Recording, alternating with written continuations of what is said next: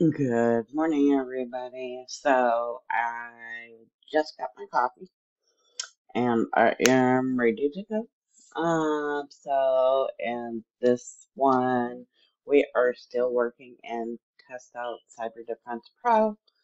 Um, I do plan on posting um networking and PC Pro and a few others. Um, and also ethical hacking. Um, but for this one, we are going to um, counter malware with Windows Defender. It's going to be short and sweet, or it's not too complex. You know, it's not rocket science, okay? But as always, you are the security analyst here. Let's you just read your scenario and we are going to configure Windows security as following. And always do in order as the out gods want you to, or you will fail. Okay, so with that being said, we need to add a file exclusion in Windows Security, aka Windows Defender, aka Defender. Okay, so what we're gonna do, we're gonna go here. Um, what I do, I just type in Defender because it's like DE versus you can get it typing Windows Security or Security, but I just prefer to put in Defender. So let's pull that up. I'm going to fix this right here. Um, and we will go under virus and threat protection. Okay, and as you can see, like this is the exclusion. You may have a different drive, and it may be named something else, but it's the same thing.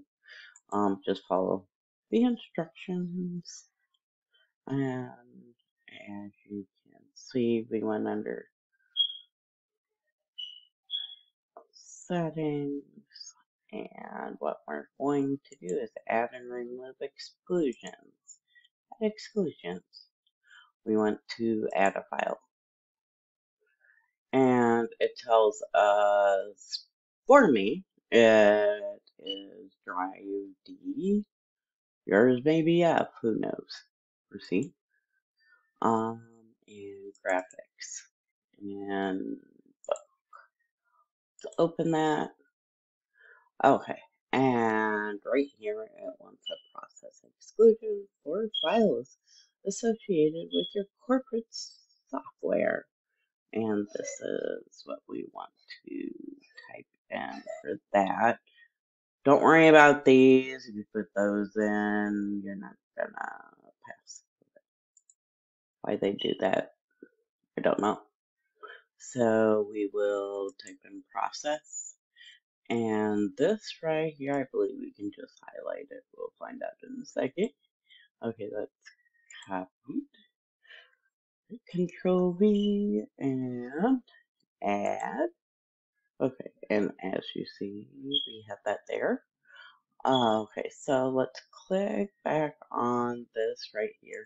Wants us to check for virus and threat updates. So, um, what we want to do first, don't do the scan yet. Um, they will fail you. Um, or you won't have it. And so what we want to do is check for updates, see if we have any updates. If there are, install them. It will help you. And we're going to do a quick scan now. Da, da, da, da.